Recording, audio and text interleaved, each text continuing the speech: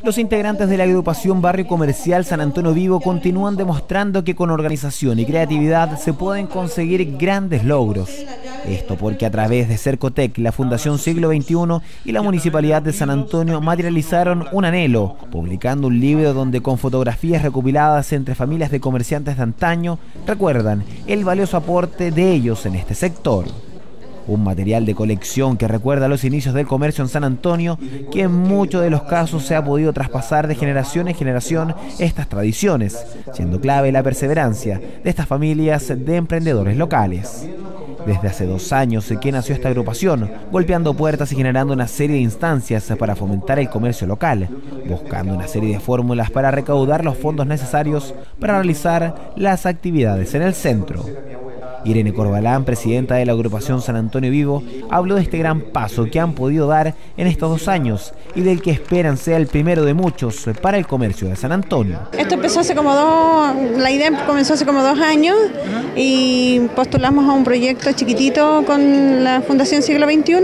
y después nos dimos cuenta de que teníamos en las manos algo, un proyecto que podíamos hacerlo mucho más grande, que había mucho más trabajo, había mucha historia que contar, entonces ahí juntamos recursos con Cercotec y con el municipio y lo sacamos en, mayor cantidad además. Lo, mejoramos, ampliamos la información y fuimos trabajando por ello. Un importante trabajo el que han podido desarrollar en San Antonio que valoró el alcalde Marvera, ya que todas estas herramientas e instancias que han desarrollado en la comuna no hacen más que fidelizar a los sanantoninos a preferir los productos locales, generando un sello y una identidad. Estamos muy felices de estar concluyendo una de las importantes etapas de este convenio suscrito entre Cercotec eh, de la región de Valparaíso y la Municipalidad de San Antonio eh, para fortalecer el desarrollo del barrio comercial Centro San Antonio que posibilitó la conformación, el reencuentro de los comerciantes del centro y la conformación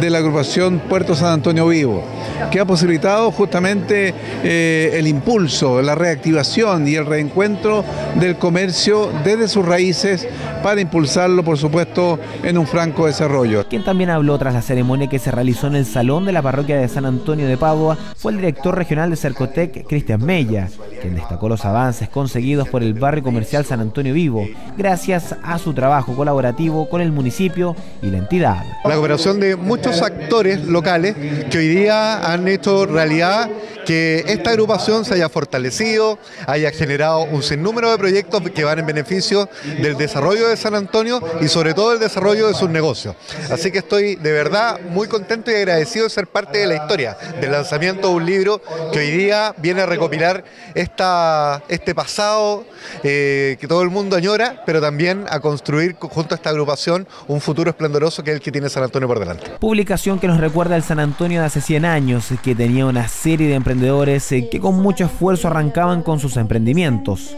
Muchos de ellos se recuerdan con nostalgia, en tanto que otros llevan varias décadas entregando sus productos a los sanantoninos. Actividad donde los propios integrantes de San Antonio Vivo brindaron una grata sorpresa con un baile de Charleston, vestidas para la ocasión instancia que cierra el proceso y abre otro con estos comerciantes mucho más empoderados y con nuevas herramientas para seguir potenciando estos tradicionales emprendimientos sanantoninos.